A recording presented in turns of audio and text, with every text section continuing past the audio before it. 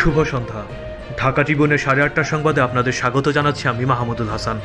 শুরুতেই জানিয়ে দিচ্ছি সংবাদ শিরোনাম। দুই শতাংশ নিচে নামলো দেশে করোনা ভাইরাস শনাক্তের হার। ত্রিশালে সড়ক দুর্ঘটনায় ছয়জন নিহত। নতুন জাতের আমন উদ্ভাবন। আউশের সময়ই করা যাবে তিনবার রোপণ। ইন্দোনেশিয়ায় নদীতে ডুবে প্রাণ গেল এগারো শিক্ষার্থীর। চীন থেকে কোরআন মজিদ অ্যাপ সরিয়ে নিয়েছে অ্যাপল। এবারে বিস্তারিত সংবাদ। দেশে গত চব্বিশ ঘন্টায় করোনা ভাইরাস আক্রান্ত হয়ে ছয় জনের মৃত্যু হয়েছে। এ নিয়ে দেশে ভাইরাসটিতে মোট মৃত্যুর সংখ্যা দাঁড়িয়েছে সাতাশ হাজার সাতশো বাহান্ন জনে। একই সময় নতুন করে করোনা শনাক্ত হয়েছে দুশো তিরানব্বই জনের। এ পর্যন্ত মোট শনাক্ত রোগীর সংখ্যা দাঁড়িয়েছে পনেরো লাখ পঁয়ষট্টি হাজার একশো চুয়াত্তর জনে। পরীক্ষার বিবেচনায় শনাক্তের হার দুই শতাংশের নিচে নেমে এসেছে।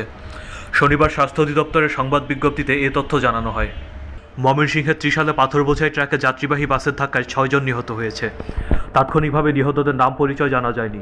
শনিবার বেলা পৌনে তিনটার দিকে উপজেলার চেলেরহাট এলাকায় এই ঘটনাটি ঘটে।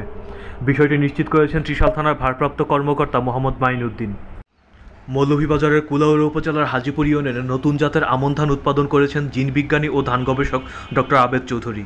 নতুন জাতের আমন ধানের চারা রোপণের পর নির্ধারিত সময়ে দেড় মাস আগেই এ ধান কাটা সম্ভব হবে বলে দাবি ধানটির উদ্ভাবকের। বৃহস্পতিবার এই নতুন জাতের আমন ধান কেটে ঘরে তোলা শুরু করেন ওই বিজ্ঞানী নিয়োগকৃত একজন কৃষক। ইন্দোনেশিয়ার ওয়েস্ট জাভা প্রদেশে নদীতে পরিচ্ছন্নতা অভিযানে গিয়ে পানিতে ডুবে এগারো জন শিক্ষার্থীর মৃত্যু হয়েছে। শুক্রবার এ ঘটনা ঘটে। স্থানীয় প্রশাসন জানিয়েছে, শুক্রবার সকালে তেরো থেকে পনেরো বছর বয়সী দেড়শো শিক্ষার্থী নদীর বর্জ্য অপসারণে অংশ নেয়। এদের মধ্যে একুশ জন পানিতে পড়ে যায়। এ সময় এগারো জন শিক্ষার্থীর মৃত্যু হয়। এছাড়া দুইজনের অবস্থা আশঙ্কাজনক। আশঙ্কাজনকদের হাসপাতালে ভর্তি করা হয়েছে। বিশ্বের অন্যতম জনপ্রিয় কোরআন অ্যাপ কোরআন মজিদ চীন থেকে সরিয়ে নিয়েছে অ্যাপল। সারা বিশ্বের অ্যাপ স্টোরের অ্যাপগুলোর উপর নজর রাখে এমন একটি ওয়েবসাইট অ্যাপল সেন্সরশিপ এ খবরটি প্রথম প্রকাশ করে। বিবিসি জানিয়েছে, দেশটির কর্মকর্তাদের অনুরোধে অ্যাপটি সরিয়ে নেয় অ্যাপল। অবৈধ ধর্মীয় টেক্সট থাকার অভিযোগে এই অ্যাপটি সরিয়ে নেওয়া হয়েছে বলে প্রতিবেদনে জানানো হয়। যদিও চীন সরকারের পক্ষ থেকে কোনো মন্তব্য পাওয়া যায়নি। নিয়মিত আপডেট পেতে চোখ রাখুন ঢাকা ট্রিবিউন ওয়েবসাইট এবং সোশ্যাল মিডিয়া পেজে। পরবর্তী সংবাদ শোনার আমন্ত্রণ ধন্যবাদ।